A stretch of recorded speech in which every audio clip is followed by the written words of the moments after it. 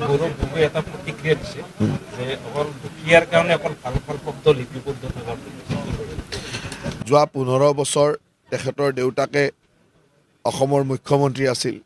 গতিকে দেউতাকৰ সূত্ৰে যোনে ৰাজনীতিত আহে তেওঁ আচল ৰাজনীতিৰ কথাবিলাক বুজি পোৱাতে বহুত সময় লাগে।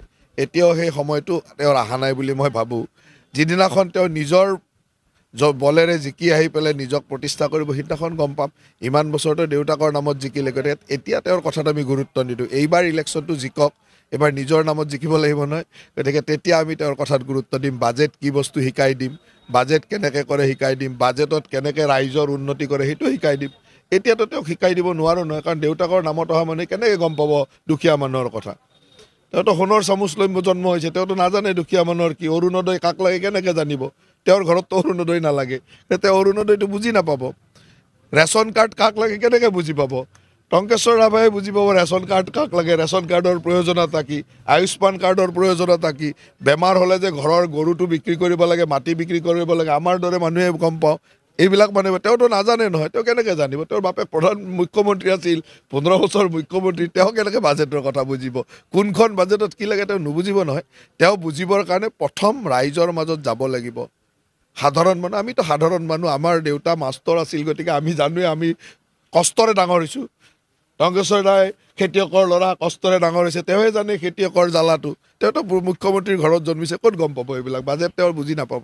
অখিল গগৈতো মনেৰে সদায় প্ৰশংসা কৰে। অসমৰ কোন মানে হিমন্ত বিশ্ব শৰ্মাক প্ৰশংসা নকৰাকৈ থাকিব? প্ৰশংসাই কৰে। ৰাজনৈতিক স্বাৰ্থত কিবা কিবি কৈ থাকিব লাগে। আপোনালোকৰ সাংবাদিকে দি থাকে নক'লে দিগদাৰ। কয় আৰু সিমানেই প্ৰশংসাটো কৰিবই লাগিব। মুখ্যমন্ত্ৰীক প্ৰশংসা কেনেকৈ নকৰিব কওক? আজি অসমৰ এই ধৰণৰ বিকাশ স্বাধীনতাৰ পঁসত্তৰ বছৰত কোনে দেখিছিল?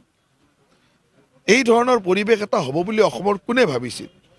আজি মুখ্যমন্ত্ৰীয়ে কৰিছে তাকতো প্ৰশংসা কৰিব লাগিব। অন্তৰেৰে সকলোৱে প্ৰশংসা কৰে। কিন্তু বিৰোধী দলৰ মানুহবিলাকেতো অপেনলি কৈ দিয়া অসুবিধা।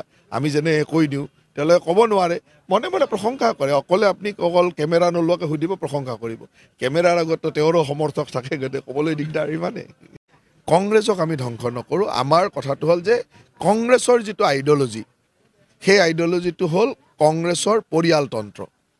যেনেকৈ তৰুণ গগৈৰ পুতেক হিচাপে গৌৰৱ গগৈ ইয়াত অধিকাৰ পাইছে তেনেকৈ ৰাজীৱ গান্ধীৰ পুতেক বুলি ৰাহুল গান্ধীয়ে পাইছে ইন্দিৰা গান্ধীৰ নাতিয়েক বুলি পাইছে মুলায়ম সিঙৰ পুতেকে পাইছে এই যিটো পৰিয়ালতন্ত্ৰ কংগ্ৰেছ এণ্ড কংগ্ৰেছ এলায়েন্স এই পৰিয়ালতন্ত্ৰটো আমি অসমৰ বা ভাৰতবৰ্ষৰ ৰাইজে নিবিচাৰে।